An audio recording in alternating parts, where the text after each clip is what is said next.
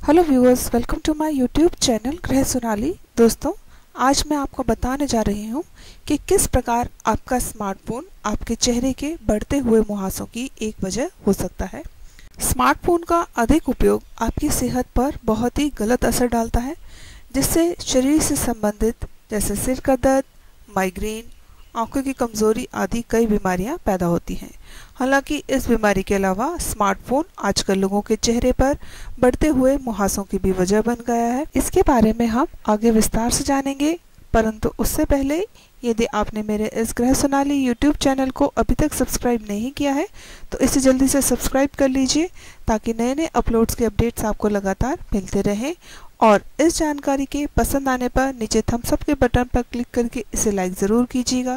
साथ ही साथ मुझे कमेंट करके ज़रूर बताइएगा। और इस इन्फॉर्मेशन को आप अपने दोस्तों के साथ अधिक से अधिक शेयर कीजिए, ताकि ज़्यादा से ज़्यादा लोग इसका फ़ायदा उठा सकें। तो आइए जानते हैं कि किस प्रकार एक स्मार्टफ़ोन आपके चेहरे पर होने वाले मुहासों का सबसे बड़ा कारण है।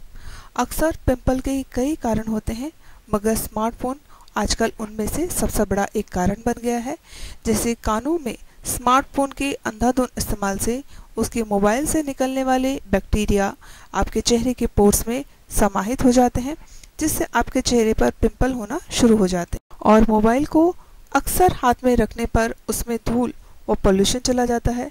इसका रिज़ल्ट यह होता है कि जब ये हाथ हमारे चेहरे पर लगता है तो फिर वह गंदगी जमा होकर हमारे स्पोर्ट्स में अंदर चली जाती है, जिससे चेहरे में पिंपल होना शुरू हो जाते हैं।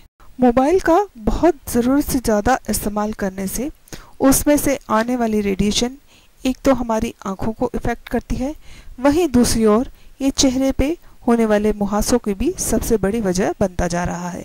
और अक्सर लोग मोबाइल की स्क्रीन को साफ़ करते हुए ये ध्यान नहीं देते हैं। और हाथ, रुमाल वो अपने कपड़ों के किनारे से ही उसे साफ़ करने में लगे रहते हैं। परंतु लोग यह नहीं जानते कि गंदे रुमाल और हाथों से साफ़ हो रहा यह मोबाइल कॉल रिसीव करने के समय कानों के पास तो जाएगा ही, जो आपके चेहरे को खराब कर सकता है।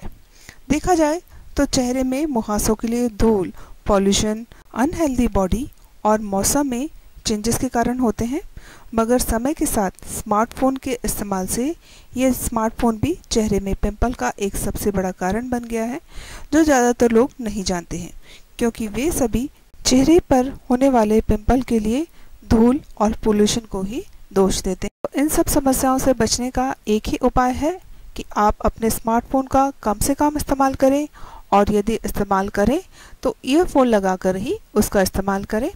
दोस्तों, यदि मेरी यह जानकारी पसंद आई हो तो नीचे थम्सअप के बटन पर क्लिक करके इसे लाइक ज़रूर कीजिएगा। धन्यवाद।